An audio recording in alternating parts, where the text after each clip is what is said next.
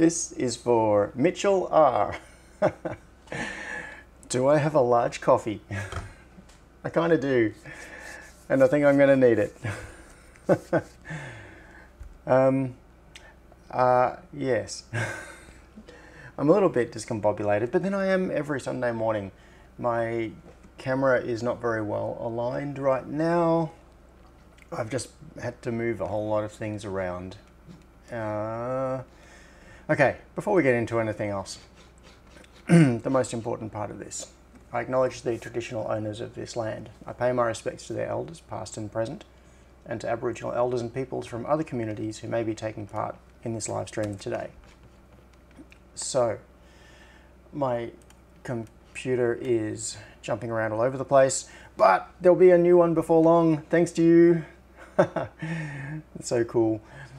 Uh, I also had to make a very last minute uh, change. It looks like audio is okay. I had to make a very last minute change to the microphone because that one wasn't working. I swapped in the camera like two minutes before uh, I hit go live. So I think that's working. And we're all good. So, uh, where are we? What are we doing? I don't know. I think I might need to fix this camera alignment a little bit because it had a different camera on this mount earlier and I just, yeah. anyway, uh, the first five minutes of every one of these live streams is totally rubbish and the rest of it isn't any better. Good morning, everybody. There are heaps of comments in here already. So, good morning to everybody. Oh, there was a thing in the um, in the start it says, "What do you mean by comments get dropped?" Uh, yeah, I think there is some weird stuff that goes on with the comments in the live stream. if if you start commenting before I go live, uh, I saw this last week or the week before when Longflare uh, got on it was like the night before the live stream and put something in. And I actually saw his comment and I replied to it. And this was like 12 hours before the live stream was going live. And then the next morning when I um, came to make the live stream go live that little chat had disappeared.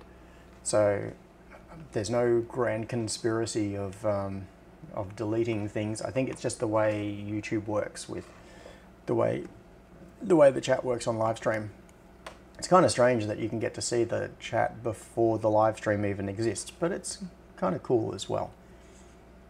You can all talk among yourselves while you're waiting for me to get myself so, myself organized. Yeah. Uh, oh, Peter says, yeah, got electricity and internet and mobile phone for the first time since Wednesday. Yes. cool. I'm glad to hear you got it back, Peter. I saw you post, I think it was on Twitter or Facebook or somewhere, uh, that you got it back as well. Um, what's that? Something weird just popped up. Oh, Peter! Little dancing party emoji. Thank you. Yeah. Uh, where to begin? Where to begin? All right. Yes. And as Sion pointed out, okay, let's start with this because this is amazingly cool and uh, let's hang on. I've just got to launch touch portal on this tablet so I can do OBS scene changes more easily. And let's see if we've got desktop. We have a desktop. Hooray! So uh, actually I'm going to open this off screen where you can't see it because I don't want to do make the mistake I did last time of revealing the names of people who want to remain anonymous. And I'm really sorry about that. I went back afterwards and in YouTube's little management interface, I found the bit in the video where I'd revealed those names and I blurred that whole large chunk of the screen out. So at least now if you donated anonymously to the GoFundMe, then uh, your name should not be revealed. I did say people's first names in the as I was going through it, I, started calling out people by first name, but I didn't give um, any surnames. So hopefully that is adequately anonymized. Now, okay, here we go. So this is the ridiculous outcome of this uh, of this little fundraiser. So thank you everybody so much who contributed to this, and also I saw that a few people put in uh, funds used by subscribing on Patreon, and um, a couple of new people on GitHub sponsors, which is awesome. So I know that not everybody can. I think we got to get you a dark background. What? A dark background where? Here? Or on the screen? I don't know. Okay, so anyway, this is the outcome. So I set the goal for this to what um, I decided was going to be a uh, an un, a large number of four thousand dollars, and the idea was that that would be enough to get something like a a well spec 16 inch MacBook Pro or a, a well spec Mac Mini and a large monitor. One of those two things. And um, WWDC happened and there was no hardware announced, which was kind of sad. But the rumors are that there's going to be new hardware very soon. So hopefully those machines will come out sometime soon. And uh, then thanks to all of you who contributed, I'm going to uh, have a nice amount of funds to be able to get a replacement for this computer that I'm streaming from right now. And um, so talking to Andy about it afterwards, one of the things that we think is very important is that any additional funds, because this has gone over the goal, it's an it's enough to get me a very nice computer, which is fantastic. And uh, it's gone over the goal, but we wanted to make sure that the excess contributions weren't just going into my beer fund or anything like that. They're, um, they're going into things that are useful for the live stream and for video production. And uh, so just wanted to let you know that that is something that I've been thinking about a lot and trying to make sure that any of these, um, yeah, any of the funds beyond what goes into replacing this computer is going to be used for things that will hopefully benefit everybody, not just me sitting on a beach. So uh, I had a couple of suggestions. Um, actually, Dave Jones recently has been using an ATEM Mini which is one of those streaming, basically a dedicated streaming computer. And um, he said, he told me basically that I should get an ATEM. so I've been considering that as a serious possibility. That is a really interesting idea because what it does is take all of the burden of generating the stream and mixing the different video input sources and things off the computer and into a dedicated device and he's had really good success using an ATEM Mini. And um, yeah, so I might, I'm considering getting one of those. The difficulty with that is that the ATEMs don't allow USB input sources, so I can't plug in a USB webcam.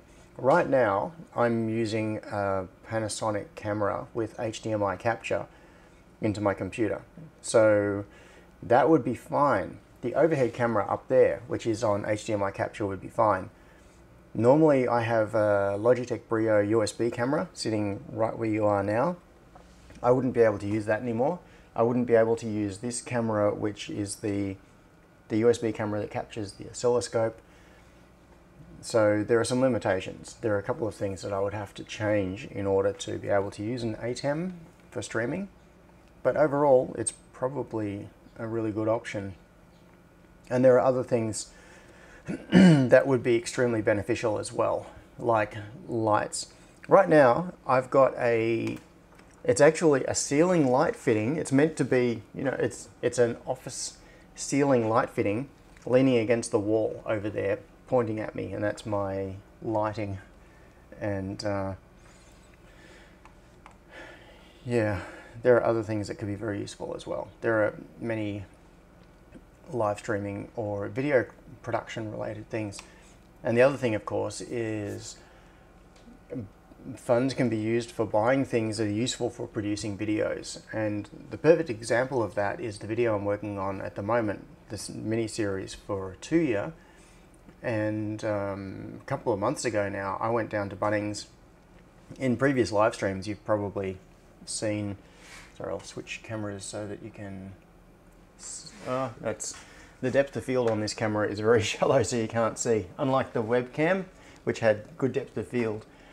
Down there, sitting behind my jacket, you can just see there's a box, a long one. That's the USB, no, not USB. That's the Tuya uh, power board, and uh, I've got a two like a GPIO and lots of. I've got a whole pile of Tuya stuff. I went down to Bunnings and I bought a whole bunch of different things just so I could pull them apart and make the video. So you know, there are things like that that I wouldn't necessarily, like I wouldn't go and buy a whole bunch of different miscellaneous Tuya devices normally. I only did that because I wanted to be able to make the video about it. So it can be um, useful for that sort of thing as well. So on that subject, and that's going to lead into the next thing that follows on from this. We have a squirrel train today. The Tuya thing. So my intention had been to upload part two of Tuya, the definitive guide to Tuya Tasmota conversion. I was going to upload it yesterday. That was my schedule so that it would be live for patrons today and then it could go live for the public like tonight or tomorrow. And I've had no power since Wednesday. So all plans went out the window. the good thing is though that the video is pretty much done and edited. It's and so is the one after it. So the um, so part one, what is Tuya, is up. Part two, which is Tuya convert, that is pretty well filmed and edited. I just need to do uh, a, a, some extra stuff in the intro. I want to talk about some things like why it is that Tuya try to prevent you replacing the firmware because I think that's interesting and uh, a couple of other minor bits. So I basically just need to record a couple of minutes of me talking to the camera and then I can upload that one. And I've already, I've actually got most of the page created as well with screenshots and things. It's, um, it's not published yet. It's, uh, it's like kept in draft mode on the Superhouse site.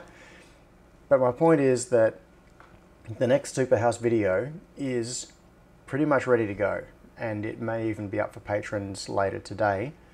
And then the one after that is also pretty much ready to go, so that can be up next week. And uh, yeah, hopefully I will keep a little bit of uh, a, a little bit of momentum going because I have a lot of footage sitting in Final Cut Pro that I need to just record little fill-in bits or bridges or b-roll or whatever and then finish the editing. And then I can do quite a few uh, of the um, quite a few more videos. So anyway. To go back a moment thank you so much to everybody that contributed to that GoFundMe. That is fantastic. And I, yeah I really appreciate it. And um, uh, I know that not everybody is in a position to be able to make financial contributions um, and just coming along and chatting to me on a Sunday morning is fantastic as well. So thank you to everybody that does that. Don't feel I do this because I love doing it, and uh, you shouldn't feel any obligation to support me or or whatever. I would still be here doing it. It's just that um, with this GoFundMe result, it means that I'll have better equipment to be able to keep doing it. Okay, now, uh, yeah, so I've lost my train of squirrel thought. uh,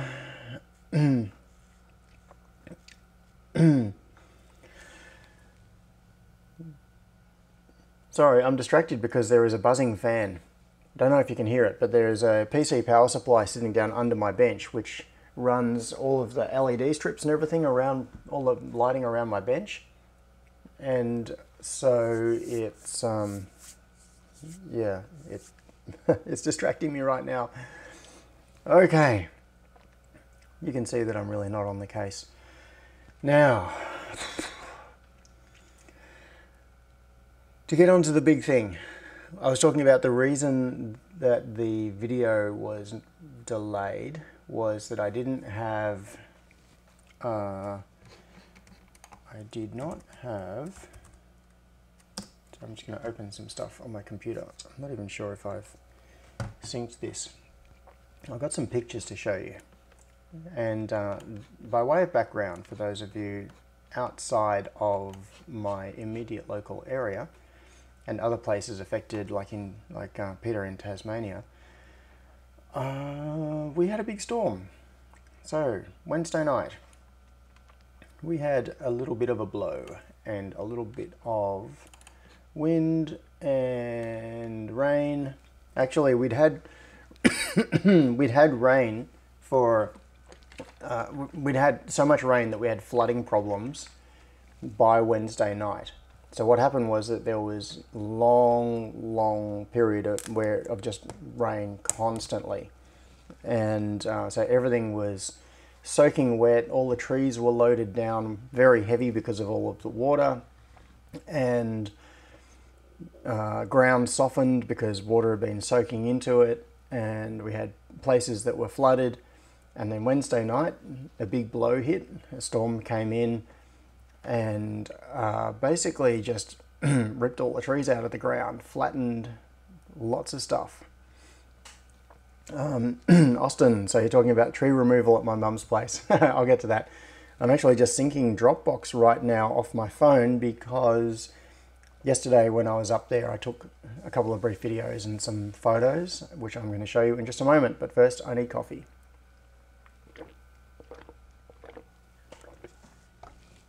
Uh, yeah, so I'm going to find, while that is syncing, I'm going to find a video that was posted by someone else on Thursday.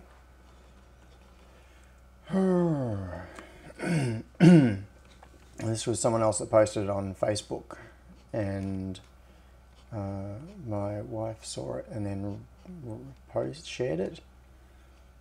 Sorry, this is not very exciting, but watching me search for stuff. But I'm just going to find this on the screen while you can't see it and then bring it up. Oh, yeah. Peter said Melbourne got the winter storm that Tasmania usually gets. Yep. Okay. Uh, come on, this is loading, but just opening Facebook is taking forever.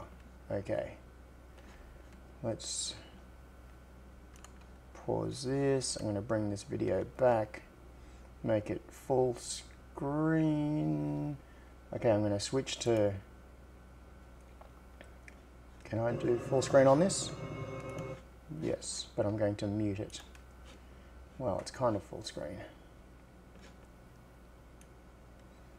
There's weird stuff that comes up on the side on Facebook. All right, uh, desktop, desktop. I don't know how well this is going to go. I'm playing a, um, a video that's in Facebook and pulling it in through screen sharing into OBS and then browsing it. So for reference, this road is the road that is just below my mum's house. So if you went from her driveway down, what we're looking at right now is probably 500 meters from her house. And uh, a large part of the area just looks, um, yeah, it looks like this. So it starts off not so bad, but you'll see a little bit further down it gets worse. Now the thing is that so this video was filmed a couple of days ago, and uh, I went up yesterday. Um, you can see a tree over there. So I went up yesterday um, with Anne and our son Tom came up as well to get my mum out because she had been trapped in her house for three days with no power and um, no phones. Oh, you can see a power line down there. It gets worse a little bit down here. And when we were up there yesterday, it was actually worse than in this video because trees have continued to fall. The, um, the amount of water and everything and yeah, basically just everything is loaded up and under stress. and so there were trees that came down in the initial storm, and there were quite a few houses destroyed, and bad things happened. Well, you can see that, like the whole root ball of the tree there has come out. And so the initial damage was bad, but then trees just kept falling. So by yesterday afternoon, this road was actually in worse condition than what you see here with more trees. Uh, Peter says, is that Mount Dandenong Tourist Road? Yes, it is. more power lines down. Uh, I'm just hitting mute on that because I can still hear a little bit of the sound. It's really stuttering through here. Yeah, there are areas where it's really clear and I think just down here there is a, a place where there's a flattened house. it gets um, it gets bad again a little bit further down this point. And I'll show you some photos in my mum's driveway in a moment. yeah, just there. So where the camera pans into the left, you can't really see it very well through all the trees. But there is a flattened house through there.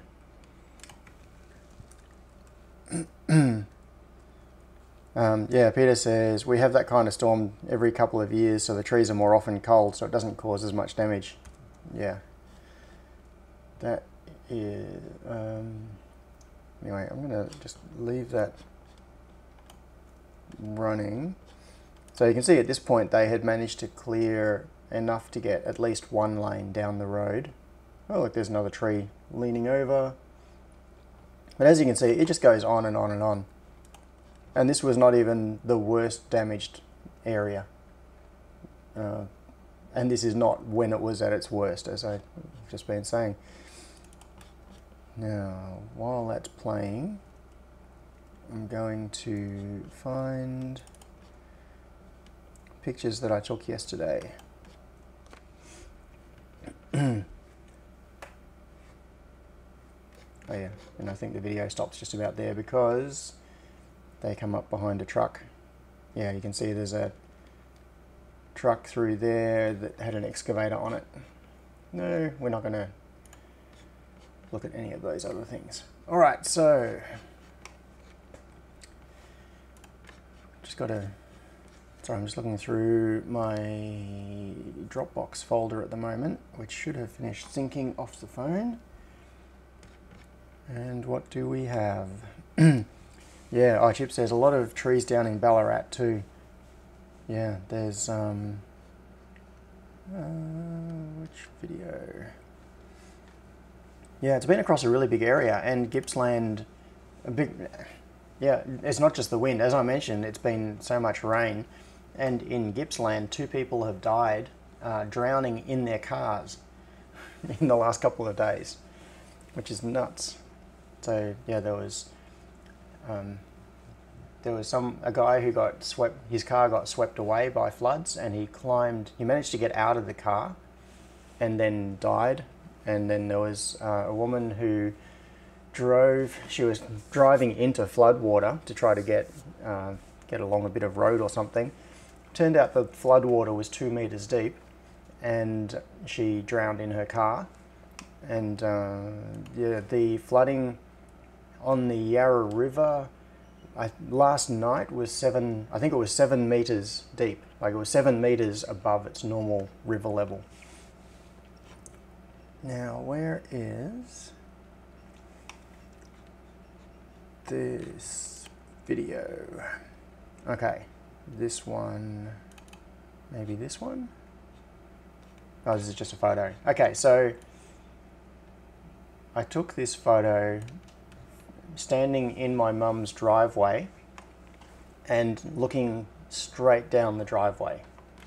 So where I'm standing, you can just see here under the trees, that area there, like that area that I've just selected, this is driveway right here.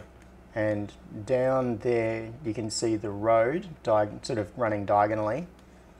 That is the road that she lives off. So her whole driveway down here is just solid jumbled trees and branches. So that's why she hasn't been able to get out. she was stuck there for three days until we got her out yesterday. And where's another? Where's the video? This one? I think this one.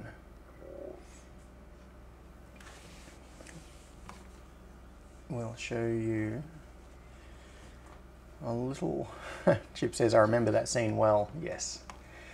But you would remember it without all the trees lying, lying across. um,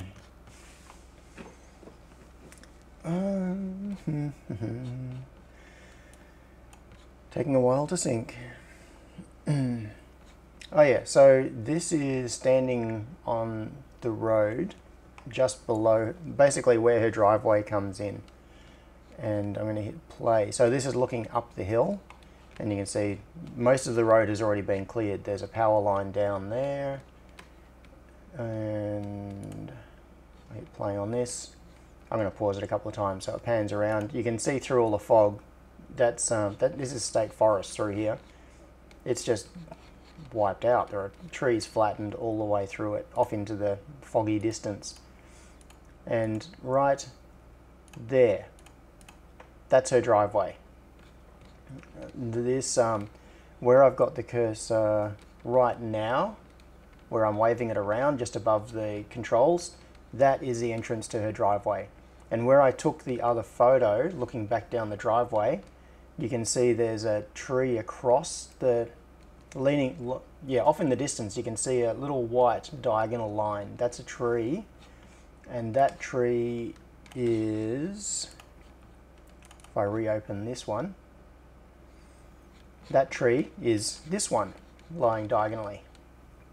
So you can see, yeah, so I took, I took that photo standing on the far side of that tree up there in the distance, looking back this direction towards the entrance. And then hands down around a little bit. Yeah, so you can see the power line here uh, hanging diagonally straight across. And the if I go there, yeah, you can't really see it because it's covered, it's in the fog.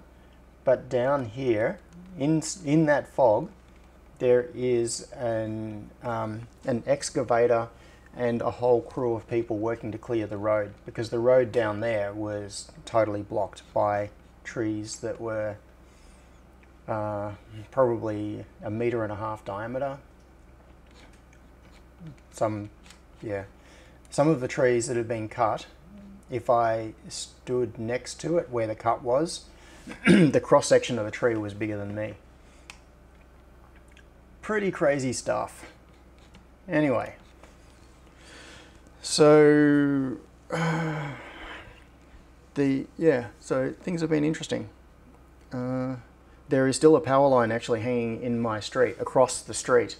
It's um, it's hanging down, but it's high enough that you can drive underneath it. And uh, someone's got a high vis vest and thrown it over the power line so that you can see where it is. So as you're driving under, uh, you don't don't bring up a tall vehicle or something through and run into the power line. But there are some people that are not, well, you can see here, these power lines are down. It's down in this segment, it's down in that segment.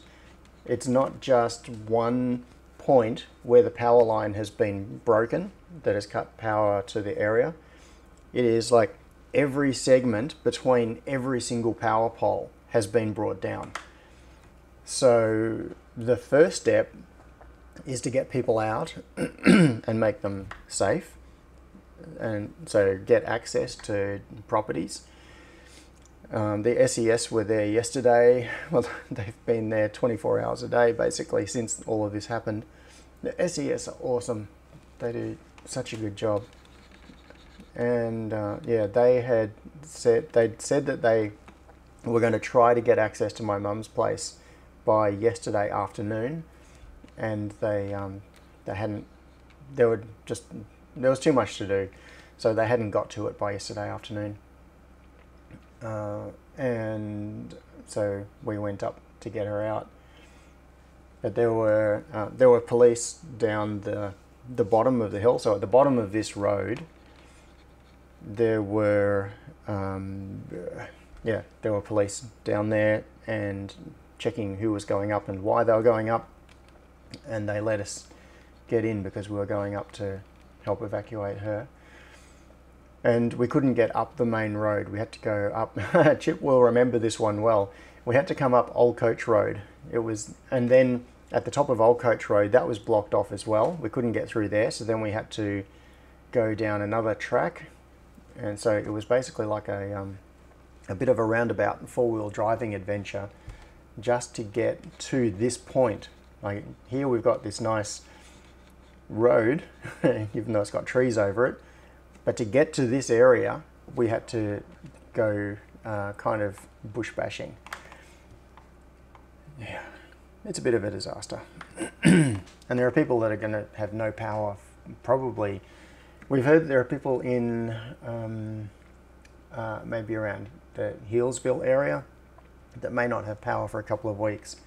Because first they have to make it safe and get people out, and then they have to clear. So, one of the SES people we were talking to yesterday said that what they were trying to do at the moment was clear the side of the road to allow the power company to get in to make all of the power lines safe.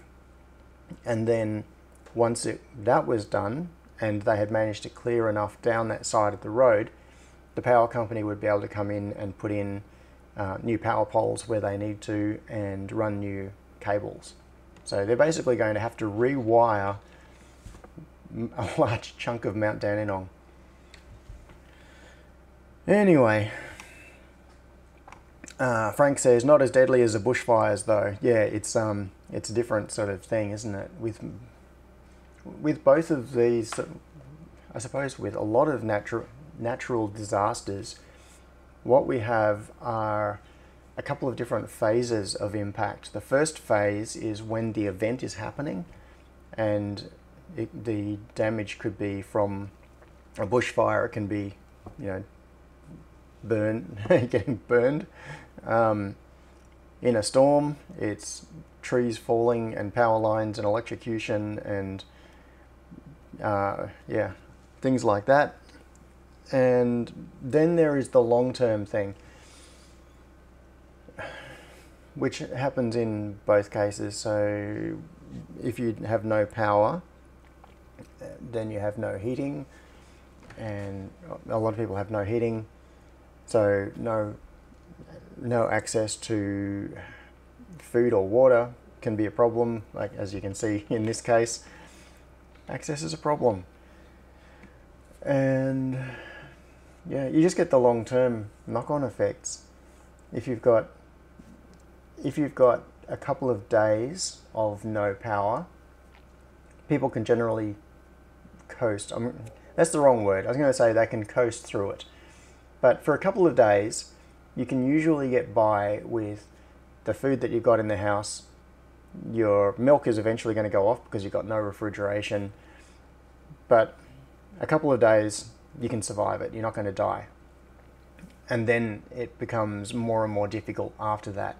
It, in the short term, it's like camping. In the longer term, you've got to start making, you've got to start doing things to improve the situation.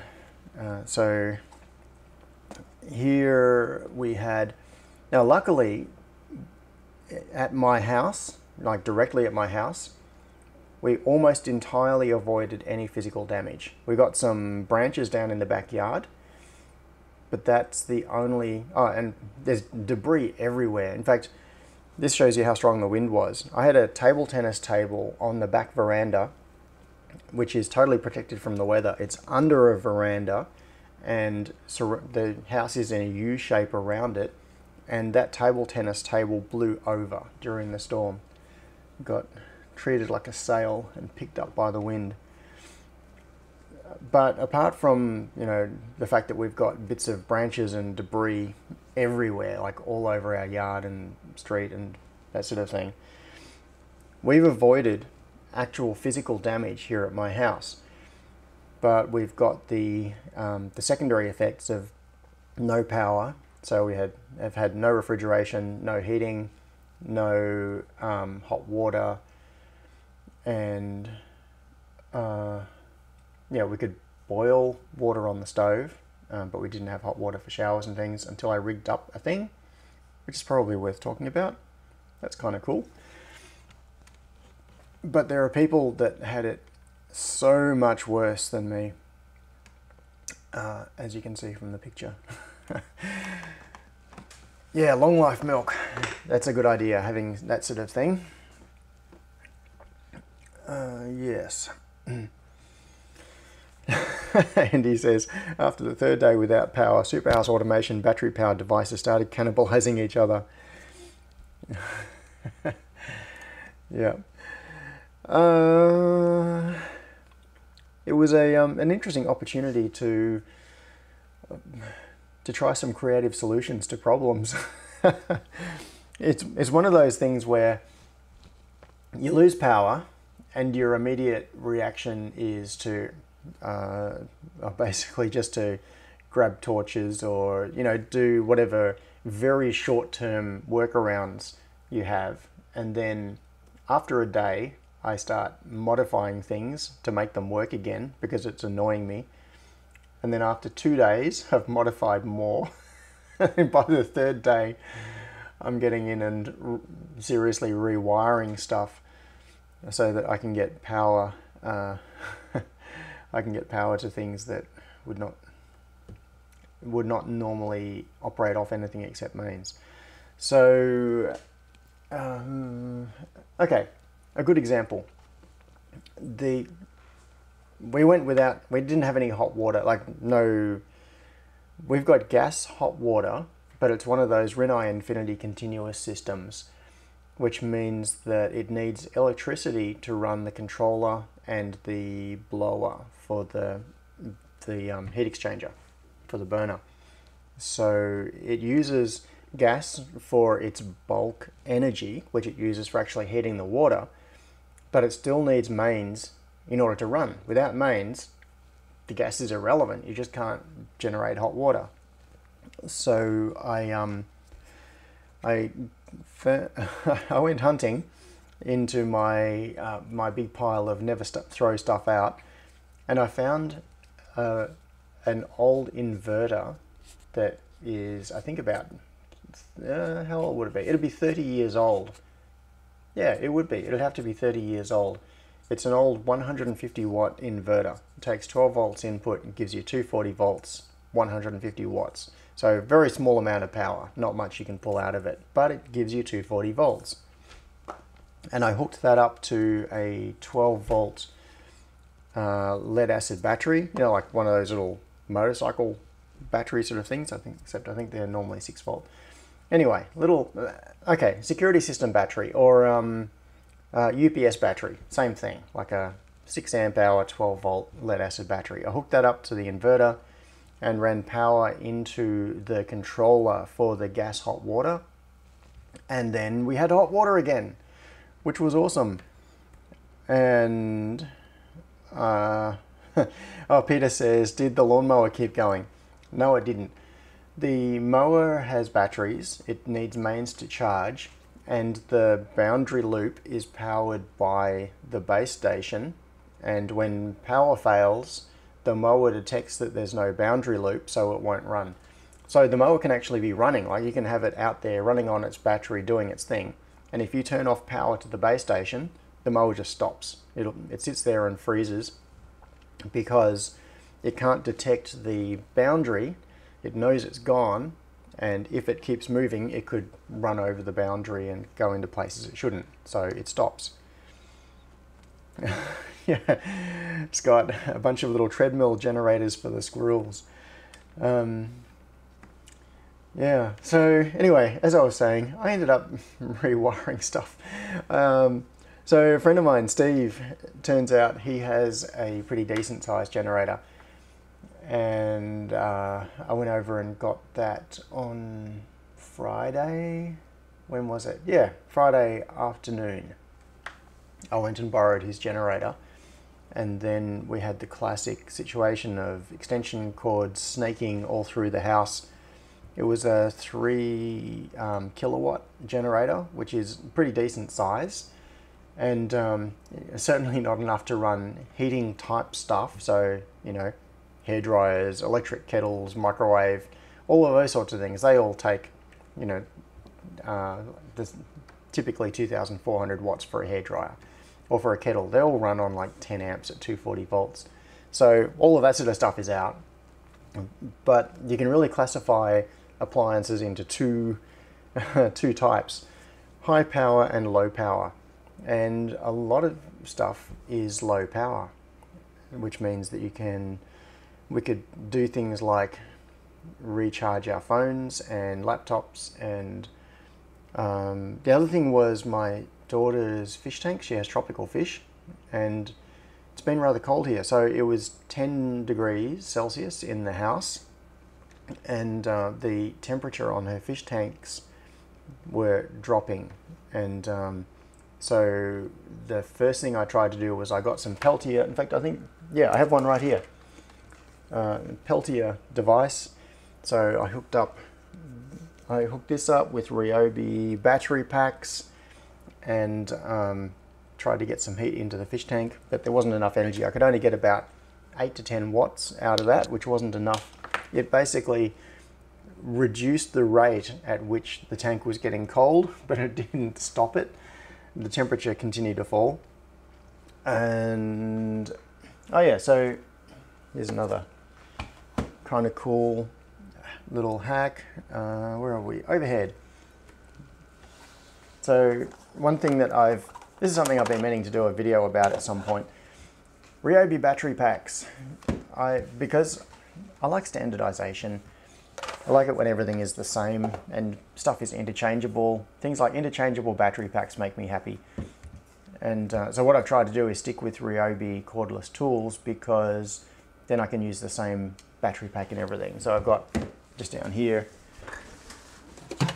even though it is not the best handheld cordless vacuum cleaner, I got a Ryobi handheld cordless vacuum cleaner for the office mostly because it would then be compatible with the battery packs. And compatibility and interchangeability has value to me. It's actually worth sacrificing a little bit of performance on one on a particular tool in order to uh, to get that interchangeability. So the result is that I have a few of these batteries, and when this happened, these all my batteries were charged, which was awesome. Uh, I don't know what, no, this one's flat now. so I had a whole bunch of Ryobi batteries that were charged. This is a 3D printed thing that I actually made a while ago. And it's got, you can see down in there, it's got contacts. There are little bent bits of uh, spring steel that make contact with the Ryobi battery. And inside there, jammed in that section, there is a 5 volt regulator module which is connected to this USB socket. And there's one of those little um, Riden power supply modules, which I've just unplugged, but that connects into it as well. So the idea is with this little combination, I'm not going to plug it right back in. Oh, yes, I will Stop it. All right, so that is like a DIY Ryobi compatible tool, and you can grab that. Oop, because I've just, oh, I just rotated this. That's what it is. I've just stuffed it up. Anyway, the idea is, what did I do? I think, oh, yes, while I was messing around with that, I just broke it. so that clips on there, and then you can charge phones and things off that. And you can turn this on and dial up. Is it going to? No, the battery's flat. So you can dial up whatever voltage you like on this and use that for powering things as well. Luckily, I already had that. I'd made it a while ago, so that was really, really useful. And I ended up using Ryobi batteries in different ways to power. Scott says, How did I survive without a hairdryer? It was a struggle. um, uh, yeah. Anyway. Anyway. I had it easy. I basically could. Okay, we had no power. We still actually have no proper phone coverage. If I um, showed you my phone, there's I have zero bars of coverage. The only way I can get I can send SMSs maybe half the time they go through. Like if I send a message, it'll sit there saying sending for sometimes 10 minutes or 20 minutes and it'll get just enough of a it'll catch enough of a signal that it will be able to get the SMS out. And I can receive SMSs sometimes as well. Uh, sometimes I will get service like one bar for a little while and then it just goes away again. So I still have no phone coverage. So no phone coverage no electricity no internet Oh, and the NBN was down as well. I actually tested this. When we got the generator, I powered up the, uh, the NTU and the router, and um, I couldn't get line sync on the NBN connection. So no internet. And it wasn't just us not having power, there was nothing at the other end. And I assume that's because whatever the nodes were, like the local nodes, I don't have fiber here. It's like that hybrid fiber coax HFC thing. So there, somewhere in my neighborhood, there is a box that the cable goes to, and that does the conversion from fiber to the coax. And presumably that had no power either. So, um, yeah. Uh, oh, so Mike said no mobile Wi-Fi calling via internet. No, I had no internet. No power, no internet, nothing. And Peter Kirkos says, imagine an actual apocalypse. We're screwed. Yes. um, that's one of the interesting things I've been thinking about. It shows how dependent we are on infrastructure. And the only reason that we can survive living in cities is the systems that allow us to do it. If if we run out of access to food, water, power, etc., and uh, we're all packed into this little area, then we're in trouble. Yeah. Um,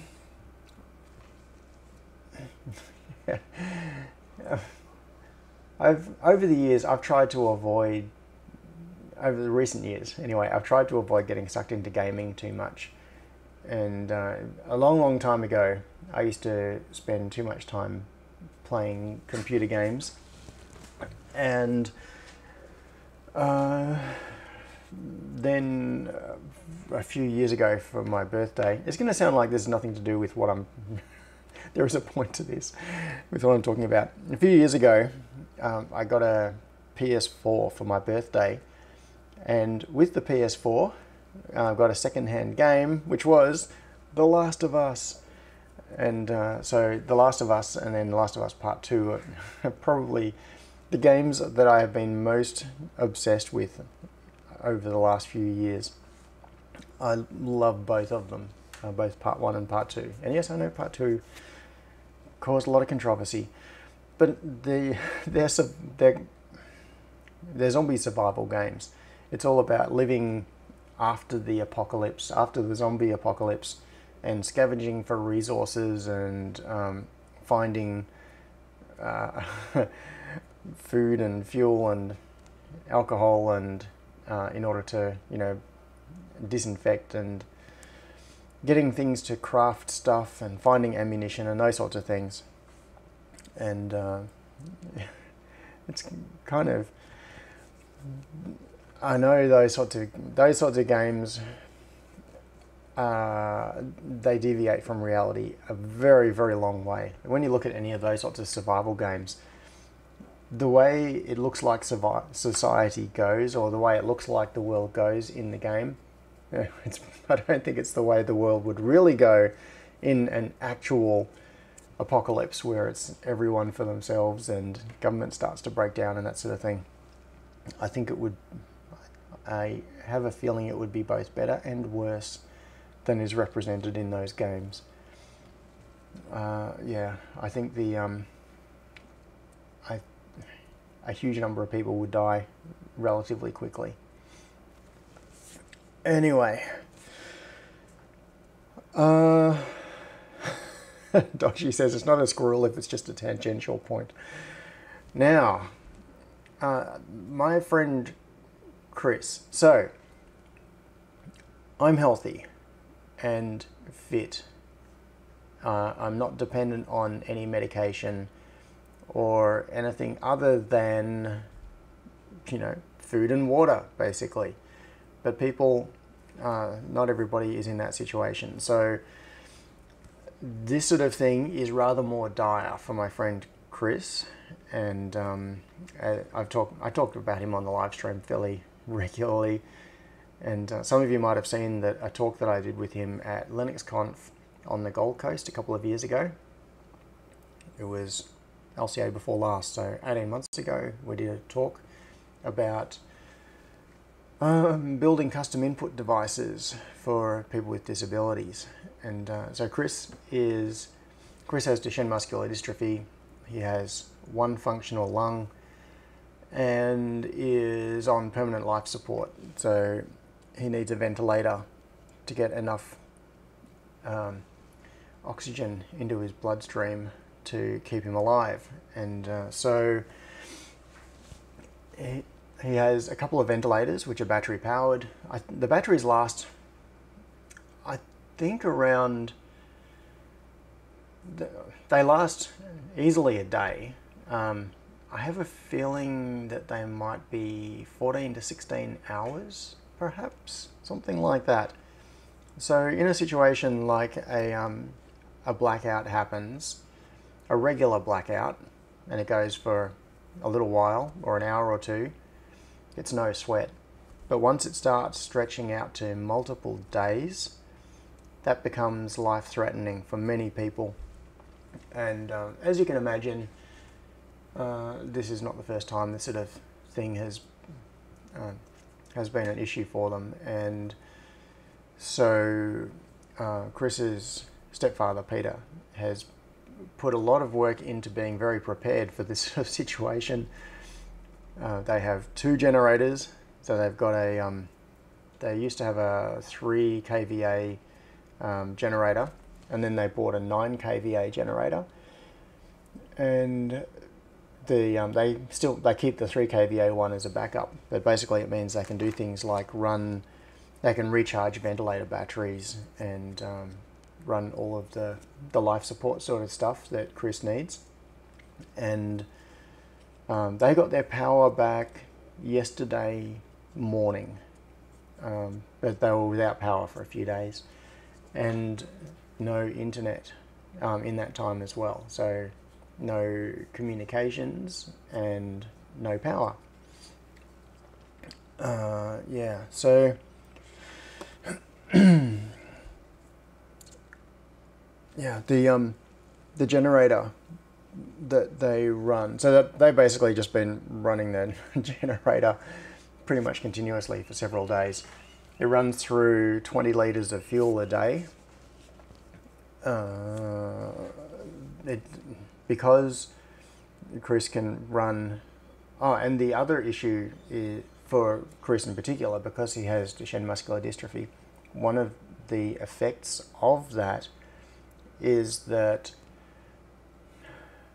basically, well, the term muscular dystrophy, it's your your muscles are no longer working for there are different types of muscular dystrophy, but the upshot is your muscles don't work anymore.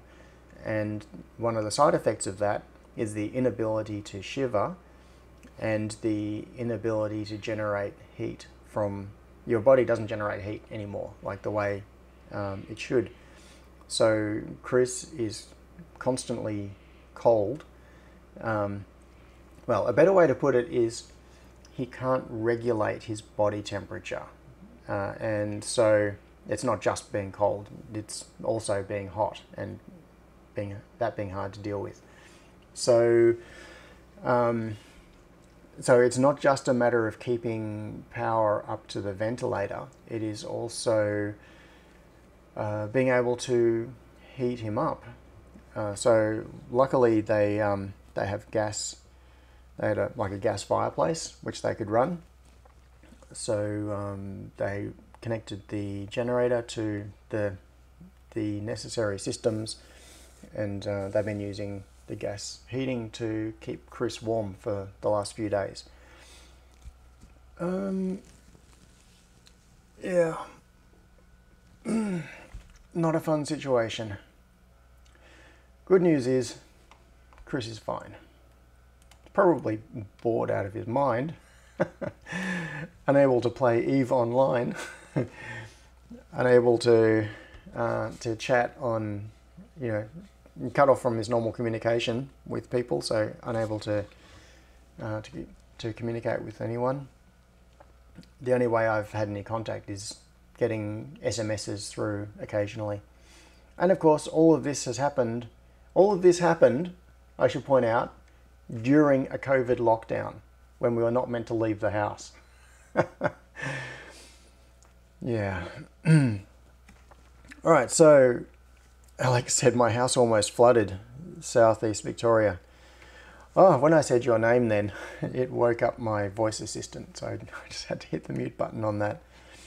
Yeah, southeast Victoria, so down around Gippsland Way, that's been hit really badly by flooding. That's, yeah, the news is just full of it. Um, whew, all right, so so far this live stream has just been like a real life disaster movie. There are some other things to talk about. Now, uh, squirrels. So, the, mention of squirrels. Peter, did someone mention alcohol? Um, no, but I'm hoping someone mentioned caffeine. Hang on a second.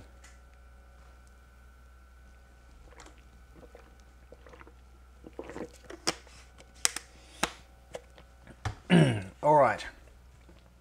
Time for an update on our little um, on our little project.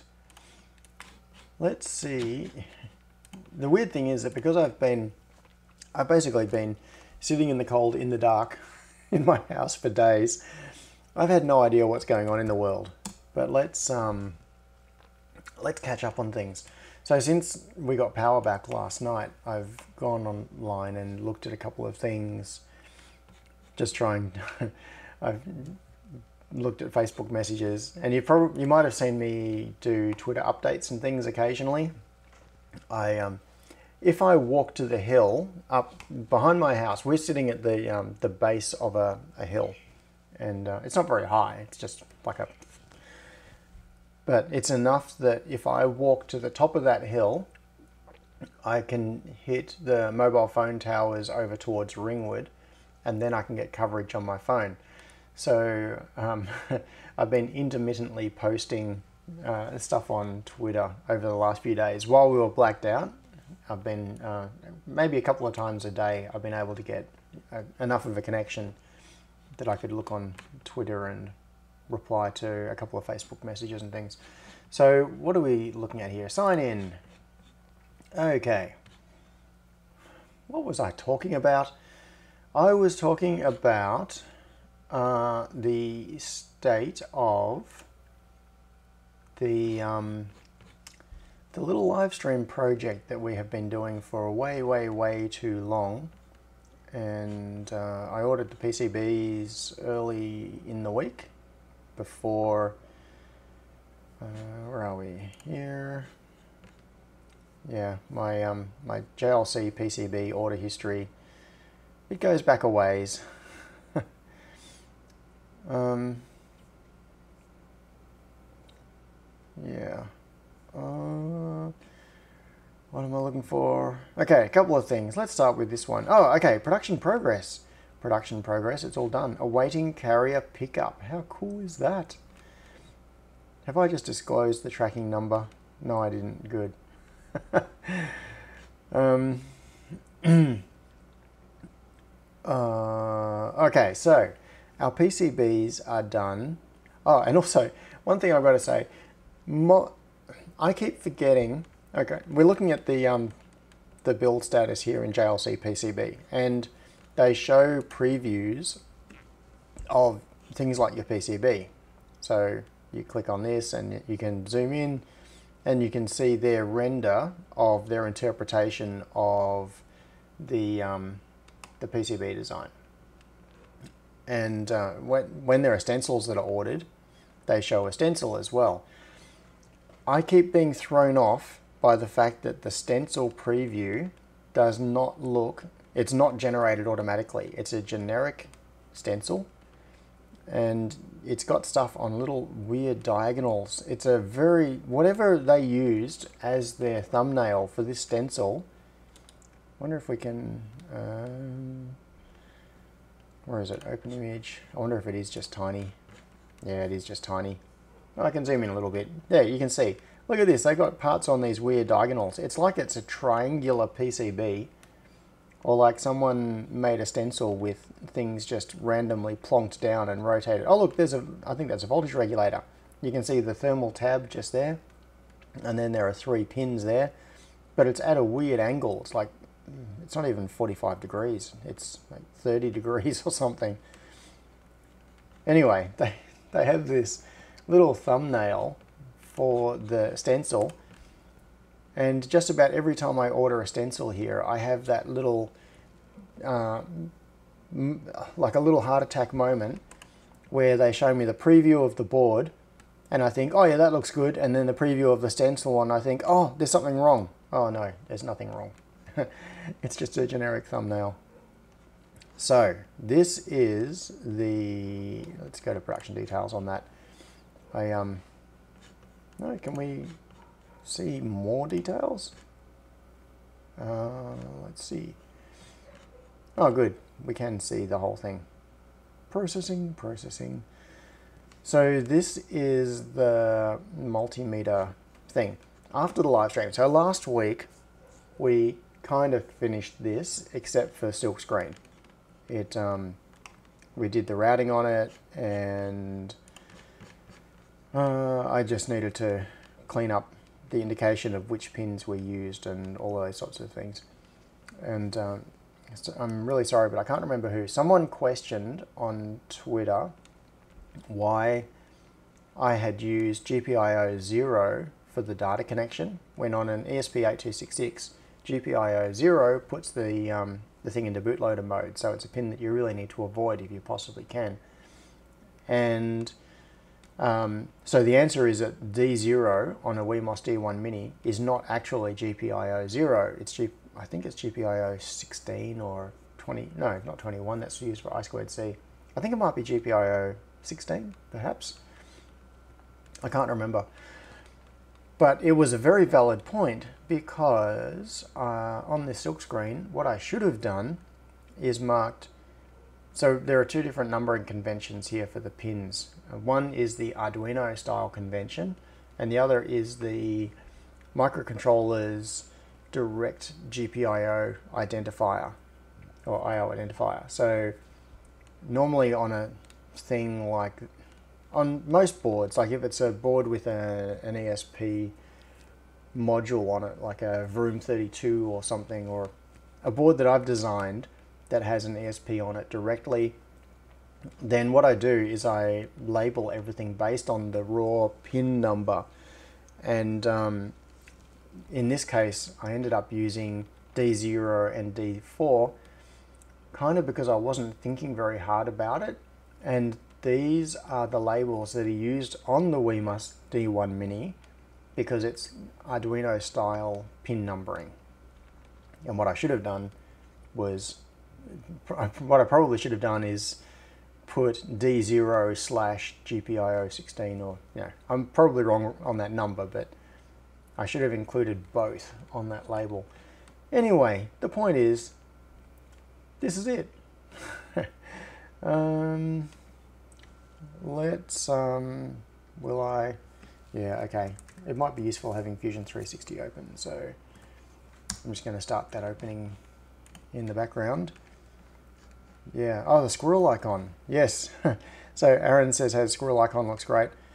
Uh, yeah, this was from the uh, the squirrel that was posted last during the live stream last week. There was an SVG of a squirrel, and in the end, I recreated it from scratch using using splines in Eagle.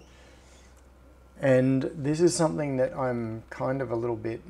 Hang on, let's have a look. Solder mask. Let's turn off outline layer. No, no, that's it. Yeah, there is this weird thing in Eagle where you can make a shape using a spline, but only if it's on the, um, the dimension layer.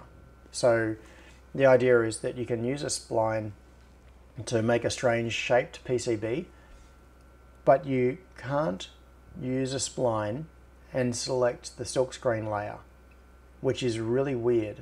Like, well, not weird. It's annoying because most of the time when I want a spline, it's because I want to do some kind of a shape on the silkscreen. It's not necessarily because I want to do um, you know, a nicely eased curve on the outline of the PCB. PCBs are either squared off edges or just a, a radius, and that's it. I don't normally care about a spline on a PCB outline. And um, so I was frustrated by this. I was, I really wanted to do this squirrel, and um, oh, great new version of Fusion 360.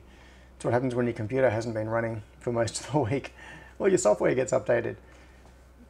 Uh, so I really wanted to do this. The thing is that if you take an SVG or a PNG or a BMP or whatever, and bring it into Eagle, there are several different methods by which it can recreate the shape for the silk screen. The easiest way to do it is to run a script that basically rasterizes the image and it makes a whole lot of tiny lines and you end up with an enormous uh, board file because it can have thousands of tiny line segments to make up a little bit of a curve. And they're all horizontal lines. Yes, they're all horizontal lines. But basically, you can think of it as being like a raster scan on a TV. So it makes all of these lines that are very, very um, short vertically, and then they just run horizontally to whatever they want. So when you run the script, it generates um, it generates thousands of tiny lines that make up the shape and that is really inefficient and it sucks. It makes the um, it makes the board very slow to work with in Eagle. It just bogs down, and um, so what happened was I ended up recreating the squirrel um, from scratch. So what I did was I took the SVG, like I had the, the image open, the one that was posted in the live stream, I just had that open on the screen and then beside it I had Eagle open and I just sketched it and, uh, and did it using splines. Excuse me. but that's right. So the splines problem.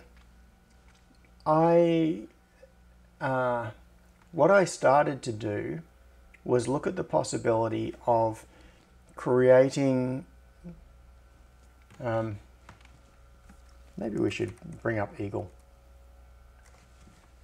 And uh, so what I started to do was look at the possibility of creating the shape on the dimension layer and then going into the raw board file, which is XML, and editing it to change the layer designators to put the to move the shape onto the top silkscreen layer because Eagle will not let you create splines in a silkscreen layer only in a dimension layer.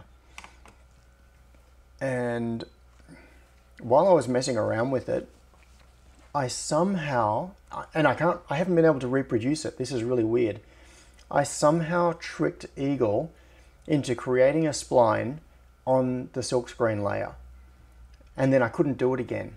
So what I ended up doing was copying and pasting that same spline and then manipulating it to make all the different shapes and curves within the squirrel.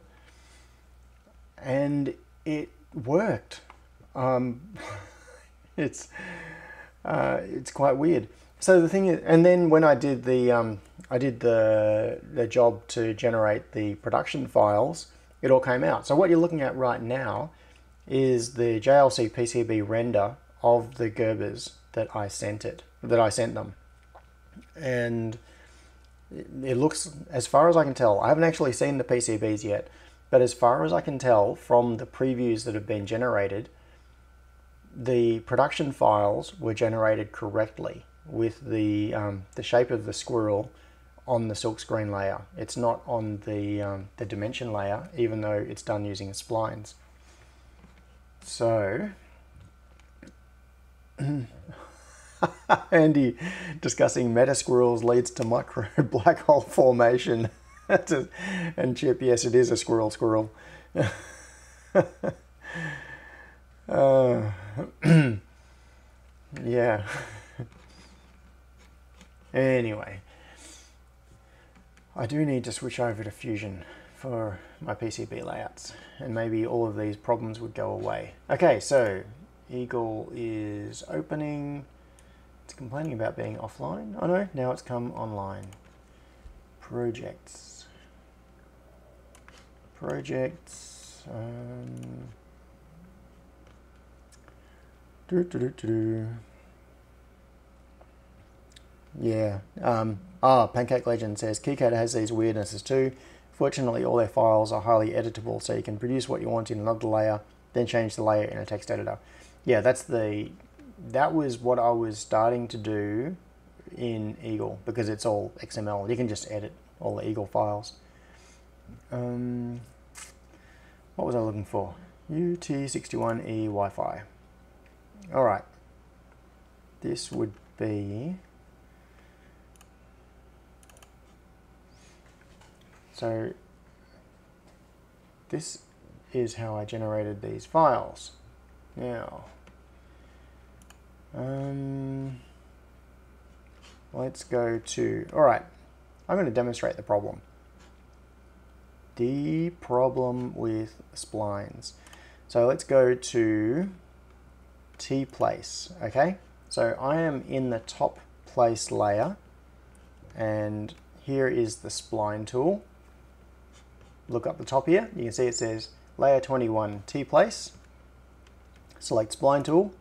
Boom! Look at that. It's changed to layer 20 dimension.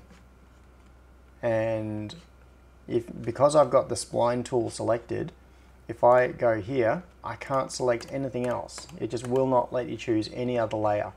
So if I now create a spline here, like that, So we now have a nice little spline that is in the dimension layer. And then if I go into the info, look at this, I can't change it. It is locked to that layer. So, um, yeah, and I don't, I, I have not been able to figure out yet how I stumble, stumbled on it, but I did some weird sequence that allowed me to create a spline on the um, like, look at this. This is a spline. And it is on the T-place layer. And uh, that, it was some combination of going into single layer mode at the right, in the right sequence. So let's just go back to, all right, so I'm on dimension layer. Let's go back to T-place layer. I'm going to go into single layer mode So I'm now forced to be on that layer. If I select the spline tool, boom, I'm back on dimension layer. Even though I was in single place layer here. Um, what did I do? How about select that? No, then I can't change it because I've got the tool selected. Anyway, and did you check the enable splines on all layers checkbox? What? What do you mean the enable splines on all layers checkbox? Is that a joke? Daniel, I really hope you are not joking. Because if there is such a checkbox, yes, damn. um, oh, Michael says, can you copy the spline from one layer and paste it to another? Oh, um, let's see. And the other thing that's weird about, okay, so I'm going to copy that. Eagle behaves differently copying and pasting groups versus individual items. So at the moment we're on the, I've copied, we're on the dimension layer. If I now select T-place, put it down, ooh, I wonder if that worked. No, it's still on the dimension layer, even though we've got T-place layer selected. So one thing that Eagle is weird about, okay, I'm going to delete this and we are going to go to yeah, maybe this is part of the answer. We're on the dimension layer. I'm going to do a group. It's only a single object. It's only one spline, but still, I'm going to do a group and then copy group and then escape. So I no longer have anything selected. Change layer to T-place, edit, and paste. And let's see what happens. Okay. No, not that. I want to, now I want to deselect, go to info, and it's still on dimension. Hmm. Yeah. Copy spline to clipboard, layer, uh, change layer and command V. Yeah, basically that's what I just did. So, um, although I did it using paste from the menu instead of command V, but still, let's, I would not be surprised if there is enough weirdness that Command V behaves differently to selecting paste out of the menu. But no, it doesn't. So you can see my problem. It is persistently staying in the um, in the dimension layer, even though I've been trying to copy to the T-place layer. But here's a spline. It's in the T-place layer. So yeah, I was just fiddling around and somehow I created a spline. In fact, I created a couple of splines on the T-place layer and then it just wouldn't, I couldn't do it again. I could not recreate whatever it was that I did that made it work. So I'm curious now. Let's, um, I'm going to say, okay, so we've got, that is now on T dimension. Oh, yeah, on 20 dimension. I'm going to save that. Let us close this and I need a terminal. Come on. My term. it's always dangerous doing this because what happens is that when you open the um, open a program it can switch windows and bring up something that could already be in a terminal. All right, so let's cd, I'm still waiting for it to come to its prompt. Um, yeah, there's some stuff I think in my dot profile. See how it's saying Python 3 at the top of the screen? I think there is some stuff that runs in the profile that takes ages to execute. So when I open a new terminal, it takes a while. Um, no, what am I doing? Superhouse, Dropbox, Dropbox Superhouse, Projects, UT61E, Hardware. This will do. And a whole lot of untracked files. So let's have a look at UT61E board. Board. All right, so what has changed? We've got grid, we've got, uh, don't care about that. Oh, looks like I've got some uncommitted stuff, which is annoying. Because what I was hoping was that the only thing in the diff would be that spline. Where is it? Layer number. Um, BMP. Uh, layer 20, wasn't it? Oh, come on. I've had enough of this beach ball. Not for much longer though. As soon as Apple do their thing. Ah, oh, Fusion is still opening from like 10 minutes ago. Um, okay, what I'm looking for is layer 20 in the board file. Layer 20, number equals 20. I can't even see it there. I'm sure I put uh, okay. Let's, um, this is going to bring up heaps of stuff. That's not going to be any use. Let's do grep layer grep 20 and I know I'm chaining greps and that's kind of silly. Uh, no layer why aren't I seeing wire? Oh, maybe it's the, oh, it's the wire. There it is. Okay. X1, so let's do 93.98. Them. Mm -mm.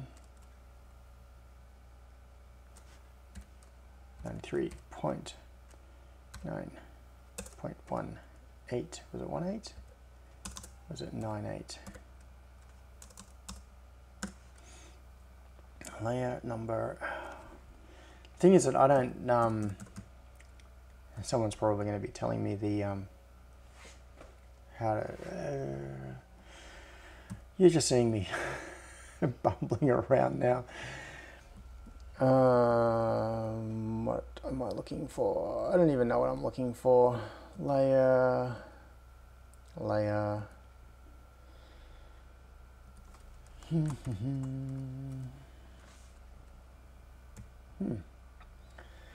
I could, I could just stop talking to you now and just be sitting here fiddling around silently for a while.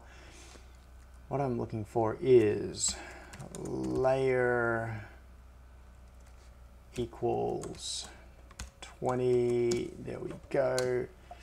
But I want the I don't want to actually mess up the yeah it's not these ones. It'll be this. Here we go. Yes the spline on layer 20 so let's change this one to layer 21 oh whole lot of messing around. All right Back to eagle. Come on. Hooray. Let's, I could have just command tab to it. All right, moment of truth. Let's see, where is this? it still says it's on the dimension layer. Uh, I hope I didn't kill the wrong thing. I hope I didn't edit the wrong thing. So,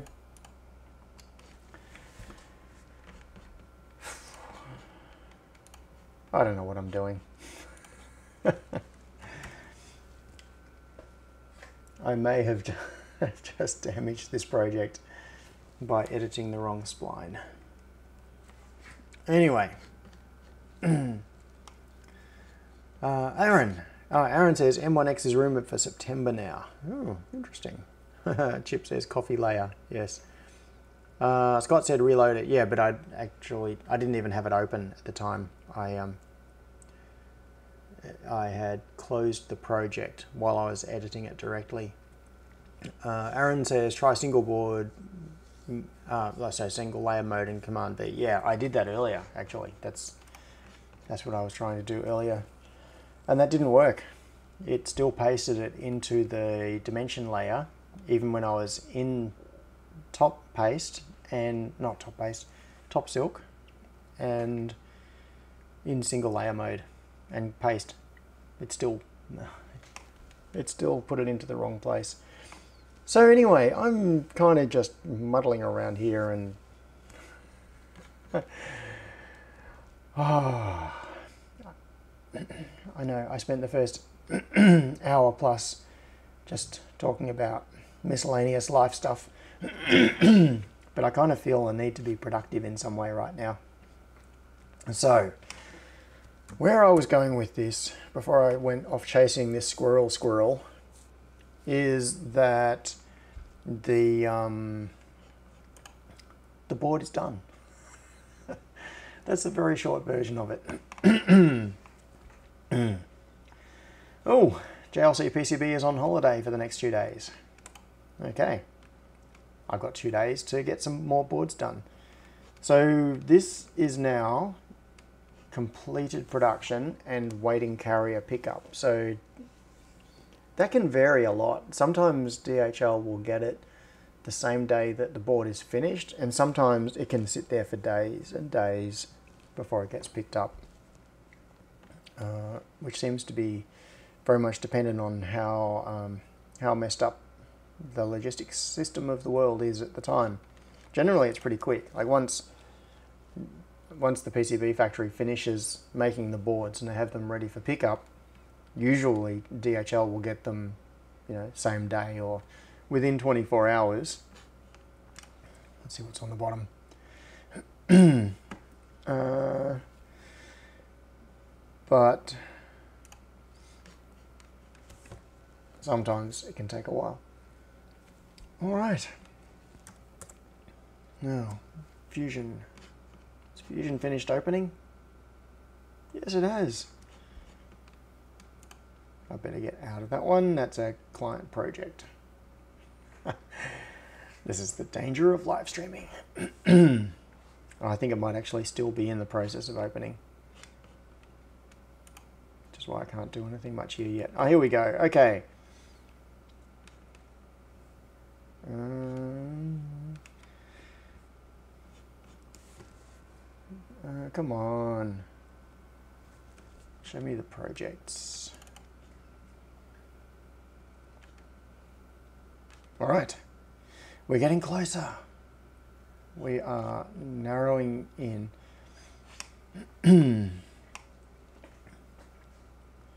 oh, and the bad news, while I'm waiting for Fusion to scroll its list of projects.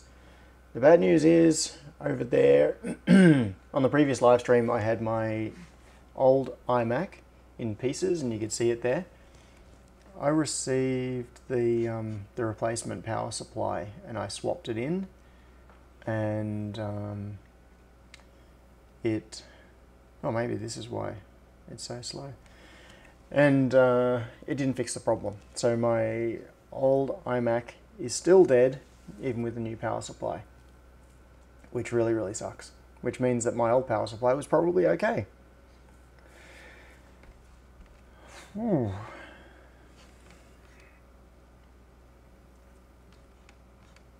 We're getting closer. We're going to be able to open this project soon. Here we go. I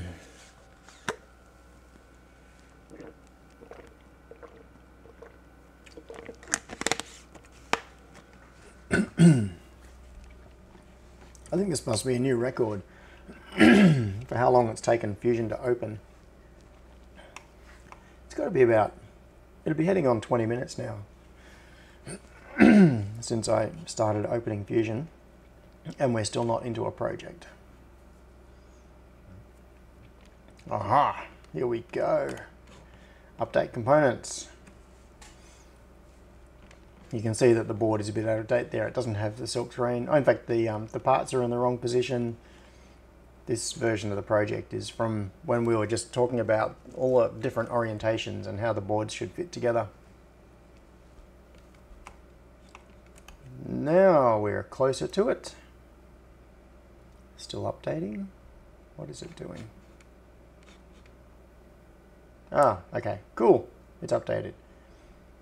The position is wrong for the D1 Mini. That's kind of annoying. I thought I'd change that. Anyway, there's the D1 Mini uh, with our board. And you can see the cute little squirrel there. So we've got the, um, the WS2812 up the top here so that we can show status, show as it's connecting to Wi-Fi and then to MQTT. Here's the MOSFET which does the, um, which acts as an inverter for the data coming from the multimeter and then pumps it into the D1 Mini which will not be in that position. In fact, let's fix that. The actual position, if I if I double space these plastic layers here, I mean, it could be there. That's approximately where it would be if it had the um, if it had the headers mounted underneath it. But my general plan is that I'm going to take that, move it,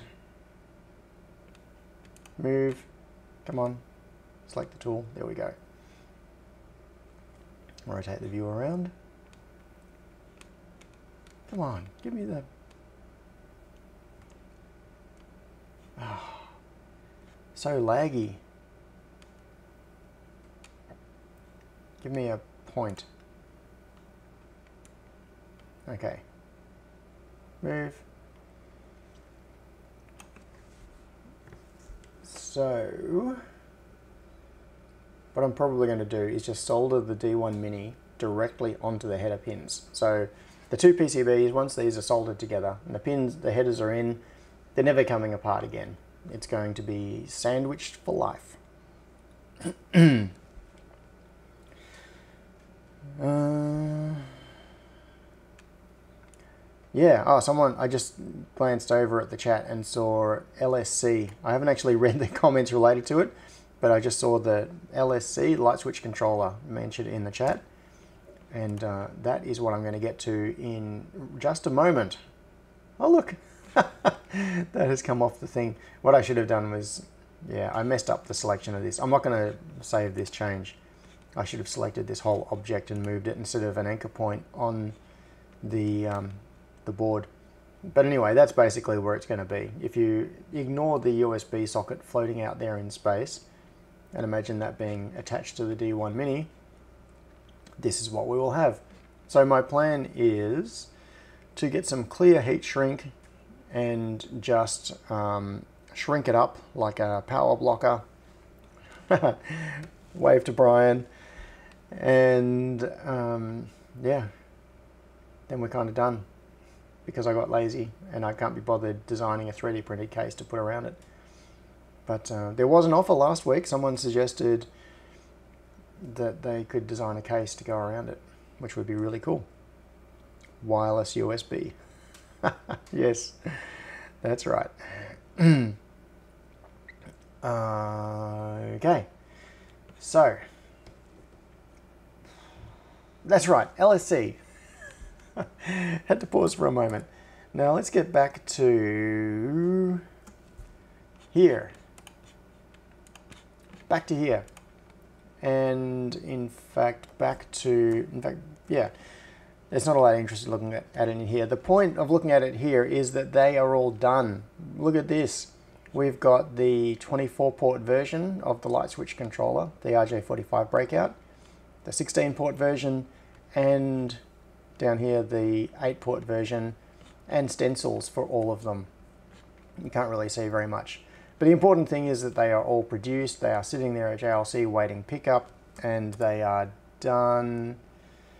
Um, they, uh, yeah, yeah, we'll open them in, no, let's just open them in, no, Eagle, okay. I'm trying to decide the best way to look at this. So, LSC, LSC hardware, and let's look at the, yes, the 24 port version. Uh, and what do we do? Put T-place up and run that. Yeah, this is better for looking at the logical layout anyway. So I'm just, just going to turn off T place and B place layers because what I ended up doing was changing everything.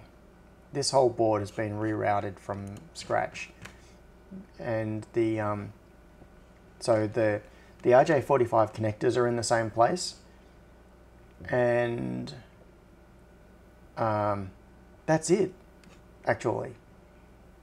Oh hang on no the um, the MCP 23017s they are in the same location like that grid coordinate has not changed.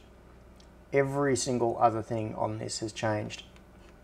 The um, the board is a bit bigger now. You can see that uh, previously the PCB used to wrap around here and ended behind these back mounting holes.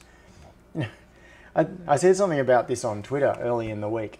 It's one of those funny things where I I was working on this board and I wanted to add some things to it and I busted myself trying to make them fit and I was jammed in tight. So so the backstory to this is uh, certain people, wave to camera, don't like the solder jumpers that I had for the I squared C pull-ups.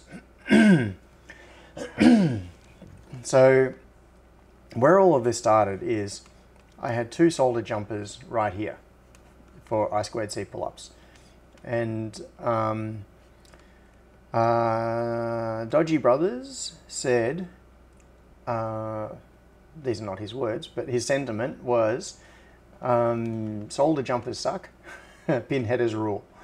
So I ended up switching the, um, the solder jumpers and replacing them with pin headers so that if you want to enable or disable I squared C pull-ups, you can just use uh, the little jumpers onto them.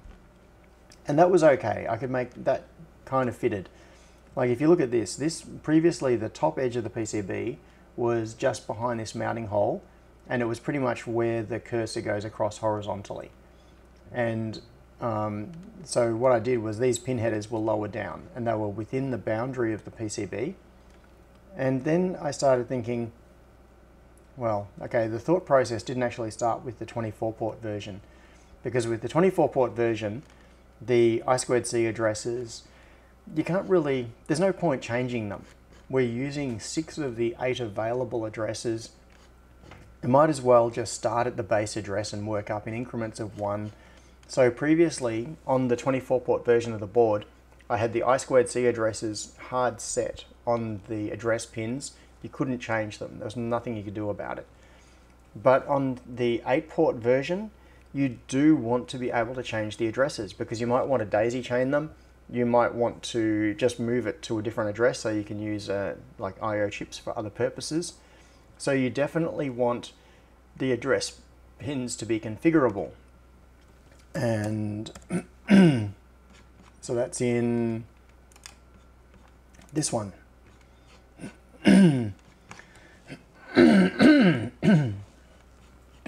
Not good. Uh, so that's in this one. And so I um, I wanted to make selectable addresses. And because I was already replacing the pull-up headers with um, with pin headers instead of solder jumpers for dodgy I thought maybe what I should do is make the um, the I squared C addresses also pin headers and not solder jumpers so my temptation was to just put solder jumpers on here. But that's kind of annoying. I thought if I'm going to go the whole hog, I might as well do it. I'll just put uh, pin headers on here and then you can select whatever addresses you like for these two uh, MCP 23017s. So um, I did. And but look at this. The um, the top edge of the board was right there where my cursor line was. And look what it intersects. It comes across here. And I wanted to be able to run a track around the top of here as well, to run VCC through here.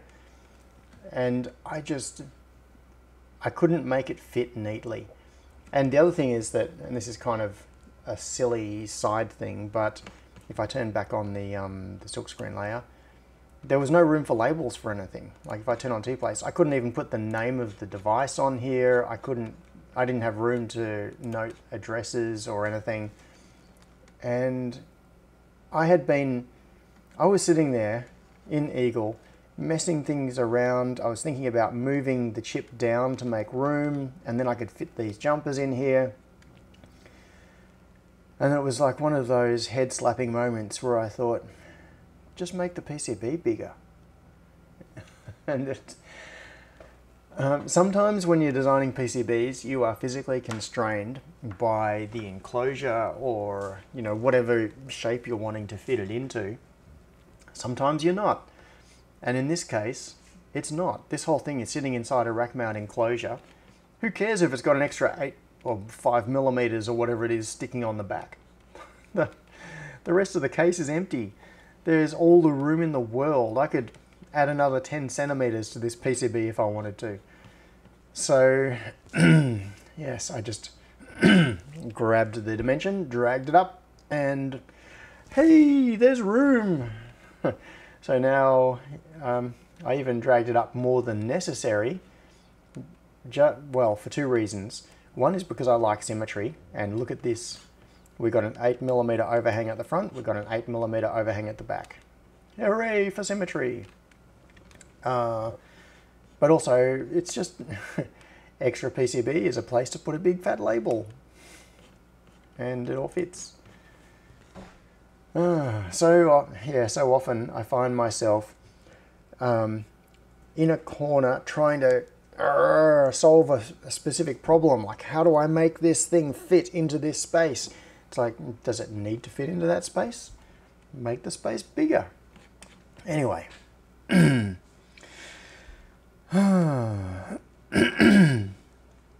oh, UM even?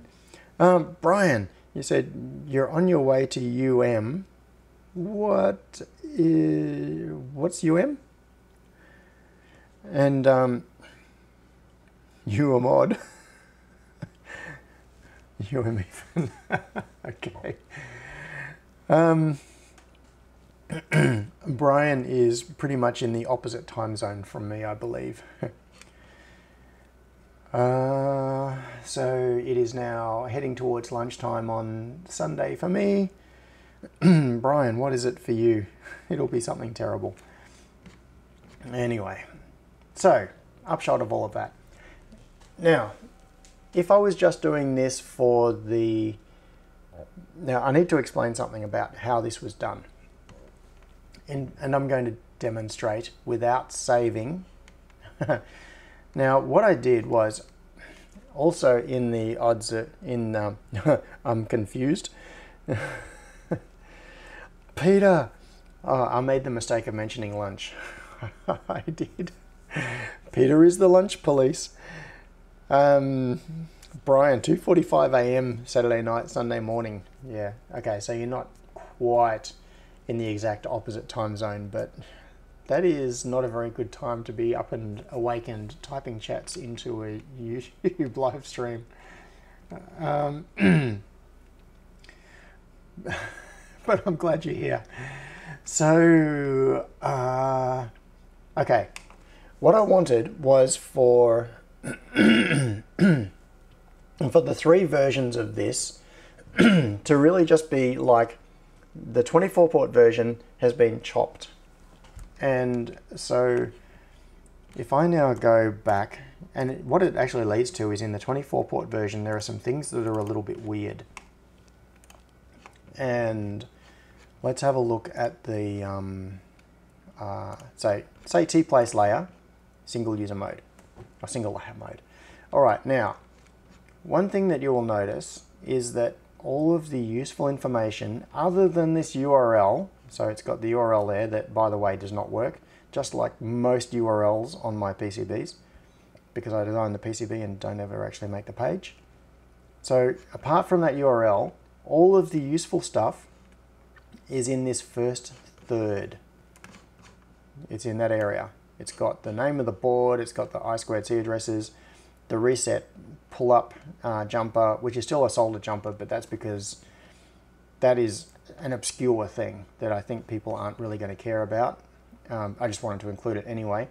The I squared C pull-ups are on, the, on this one third of the board. The logo is here, the version is here. If we um, flip the board, this is where it, it looks a little bit weird. Look at this, all the labels on the back of the board are in that third. Uh, the copyright notice, the pin-out information, it's all there. And that is because the way I generated the 16 port and the 8 port versions is I just duplicated this project, deleted a bunch of stuff and shortened it up. So, um, in fact, I'm going to do it. I'm not going to go the whole hog, but I'm going to do it right now without uh, without saving to show you what happened. And the way I laid this out, so if I have a look, all right, so you can see here, this is the complete 24 port version. Now if we go into the schematic, what we've got is first sheet I squared C, headers and pull-ups, reset, interrupt output, we've got power, we've got now the three, in fact let's um, let's pull this up in offline mode. I do not want to be in offline mode. I think because of the time zone difference, yeah, Fusion 360 is actually offline right now because they are doing their maintenance in a time that is good for them, but it's not good for me. Now, I was looking for, so if I don't have it cached, I may not even be able to open this.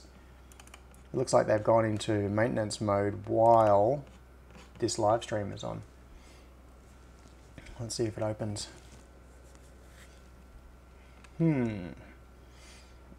It does. Okay, so this is the 24 port version. And you can see also that I now have these big decoupling caps, one behind each of the banks of, um, of sockets. You can also see, look at all this, resistor networks. So this board had 200 discrete resistors on it, uh, which was getting a little excessive and it was also taking up a fair bit of space. So I ended up switching to um, 1206 size, so K16 resistor networks. And uh, I now have, I've also got, where is it? I have reels, reels.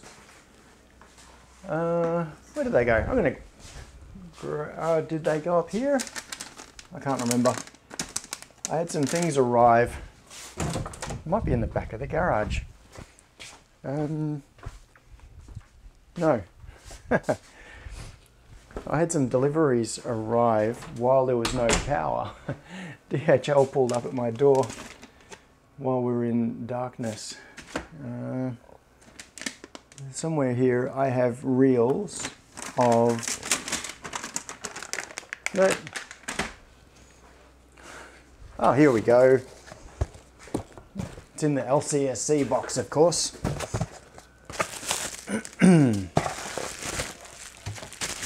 so,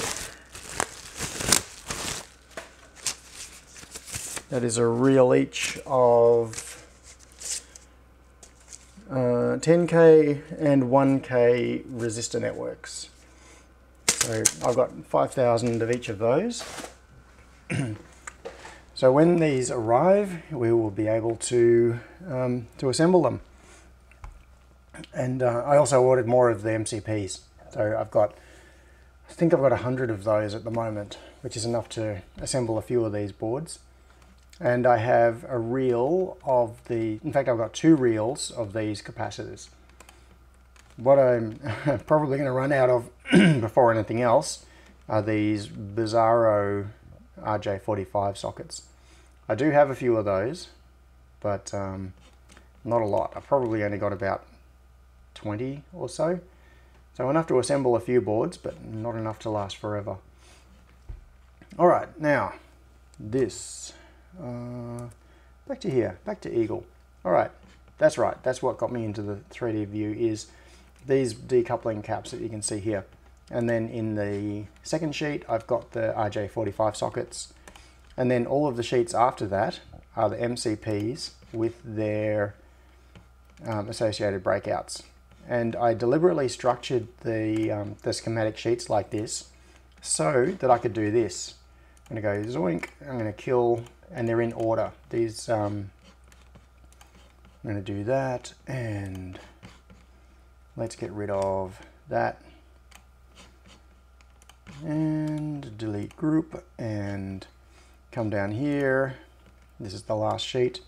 I'll remove that sheet. Yes, I'm sure and then remove the, that sheet. Yes, I'm sure. Okay, that's it. That's all the changes in the schematic. If we now come back to the board, look at this. We've got a board which is missing its last third. Oh, it's still got a few dangling nets and things there. But basically then it's just, um, it's only a you know minute or two of messing around and deleting a few things just cleaning up some of this and um, anyway you get the point. point and then normally I would do a little bit more cleaning up like delete these um, yeah in fact let's do it no not that one. Oh yes that one will do delete these vias, delete that delete that I'm not going to bother deleting the silkscreen components because this is um, just to show you what I mean. Oh, and then the spacing, oh, I've got uh, dimension layer turned off. Uh, no, measures. Measures, where is my measures layer? Down here somewhere. Where is it? Where's measures?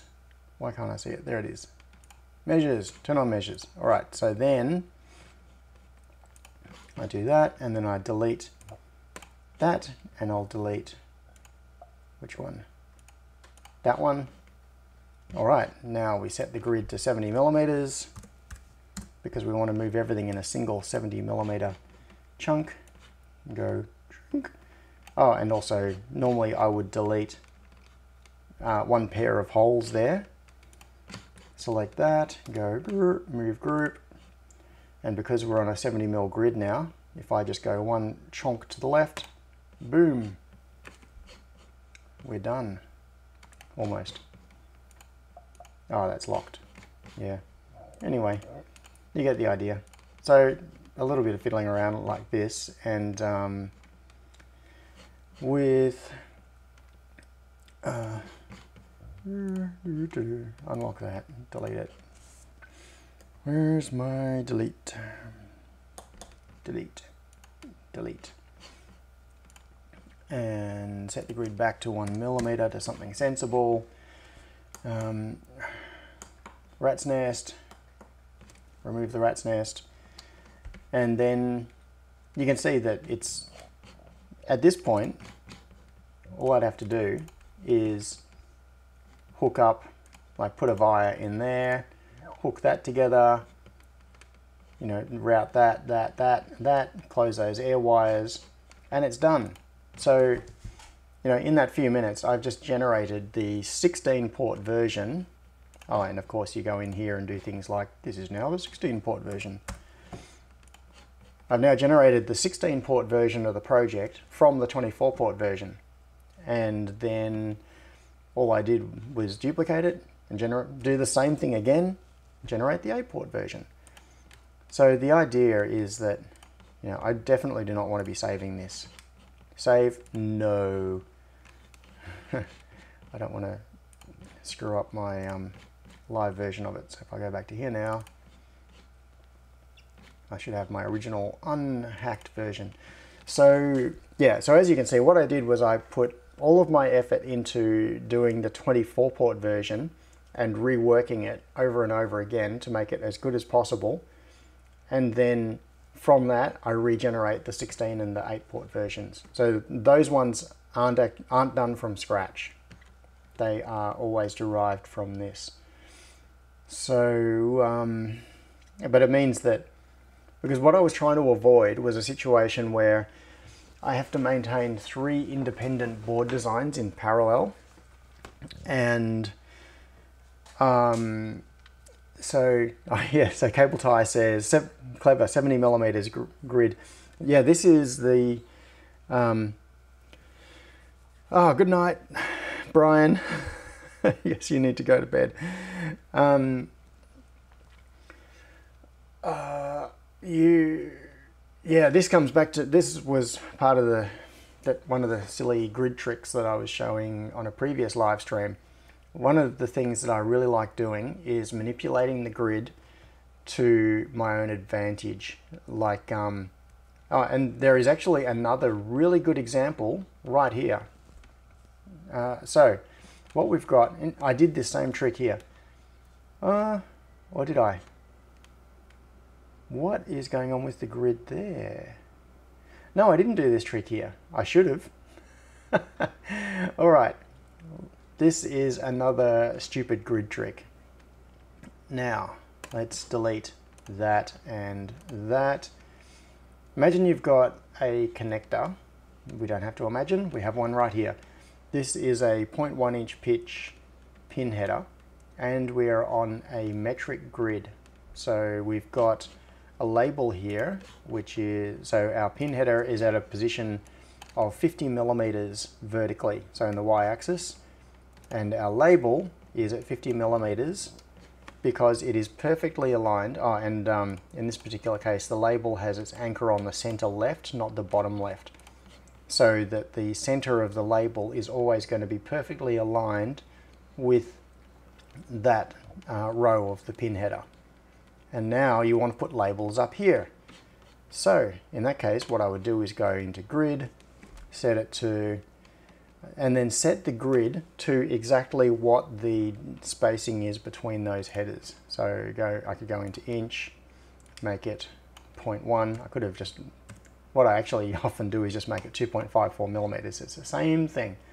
And then I just go copy, drink, chonk, drink, chonk, and then edit and make that A0 and make that one A2 and set my grid back to millimeters, one millimeter, and now this is going to be on some weirdo. It's on 52.2, uh, 52.54 millimeters is the grid position, but it is perfectly aligned with that row and I haven't had to do any mental calculations or anything. It's just there and spot on.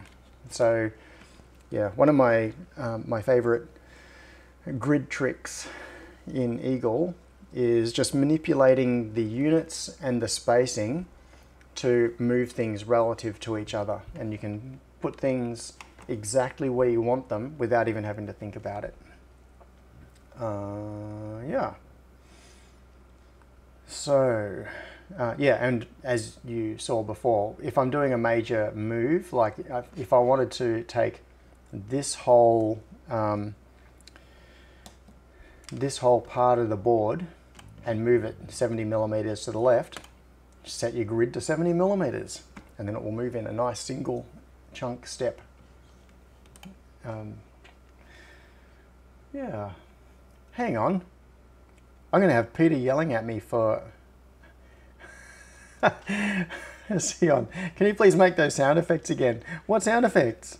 I, I wasn't even aware that I was doing any. All right, so... uh, yeah, we now have this. And yeah, as I was showing before, as you can see, all of the silk screen.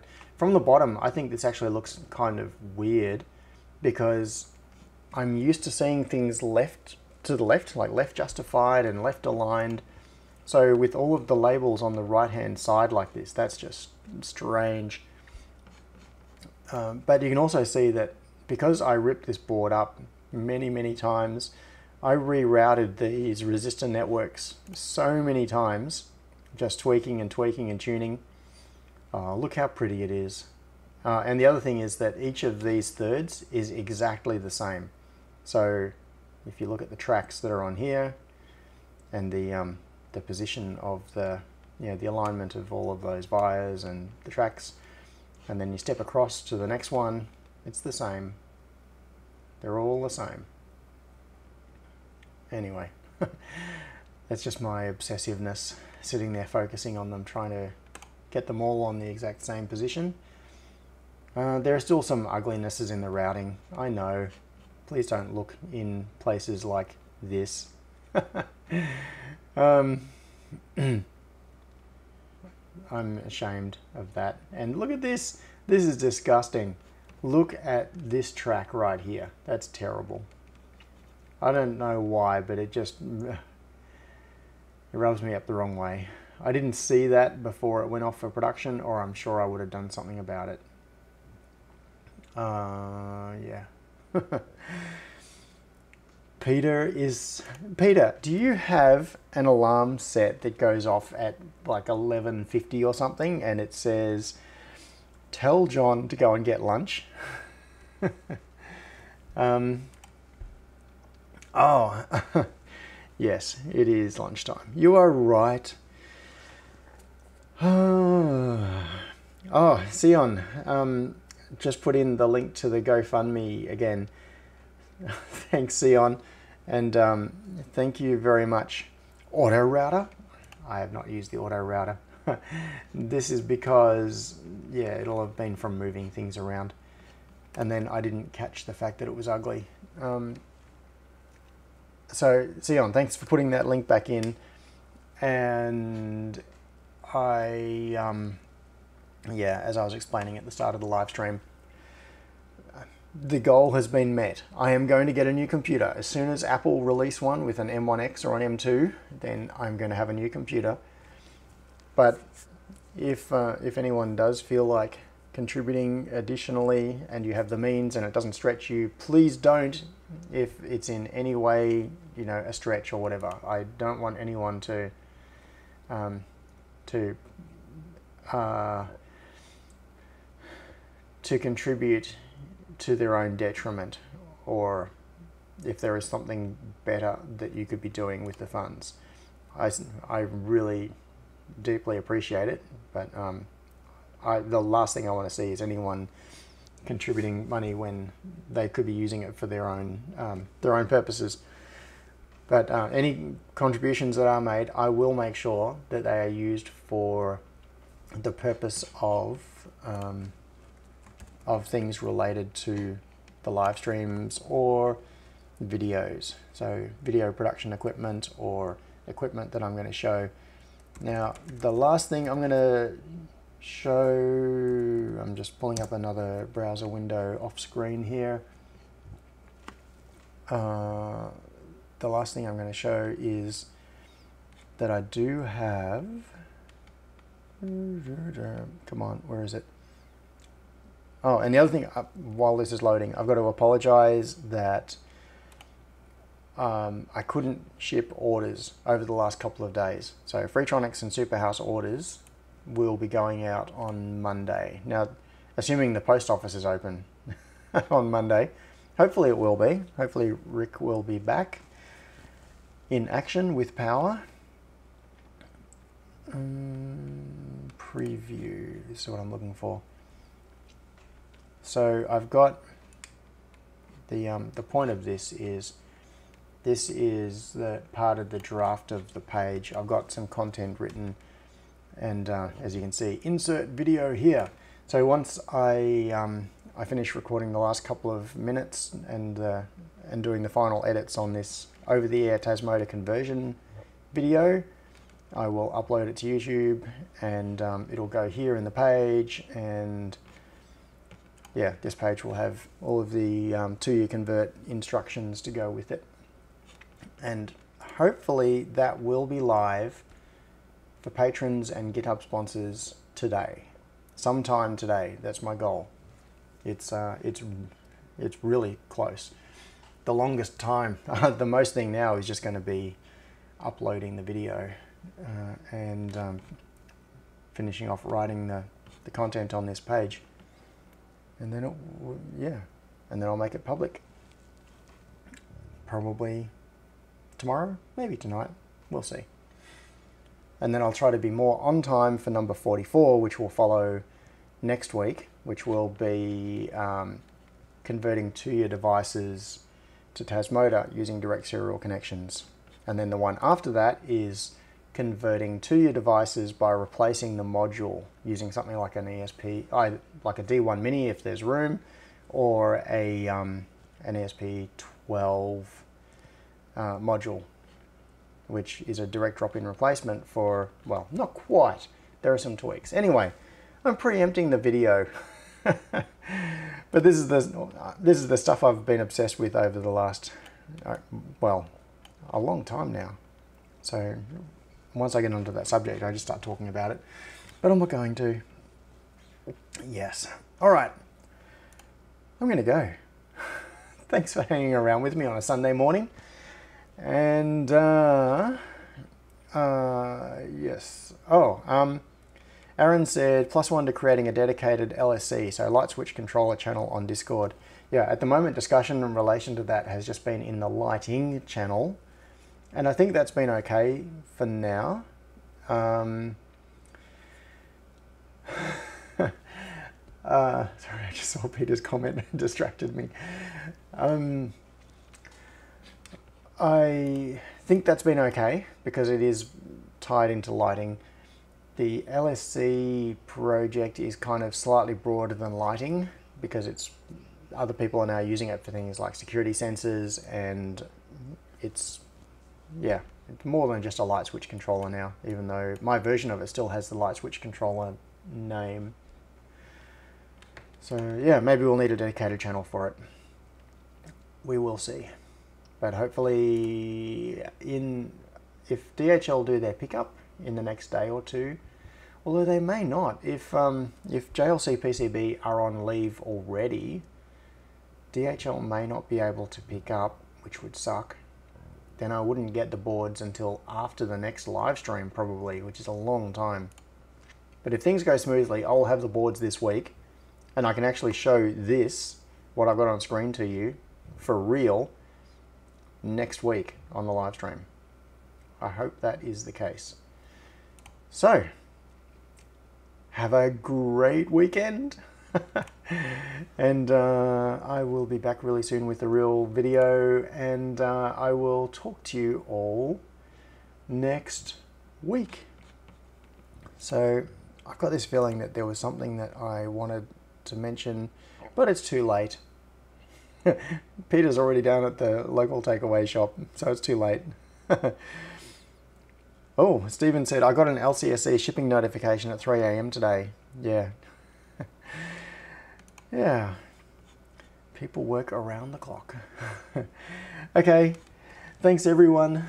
Um, I appreciate I appreciate you coming along, and I'm just glad I got my power and internet back in time to do the live stream this week. It was pretty much timed perfectly to come back last night and let me prepare. So, uh, why is it that at the end of these live streams, I can never end them. It always feels like that. No, you hang up. I've just got to say goodbye and hit end. Bye.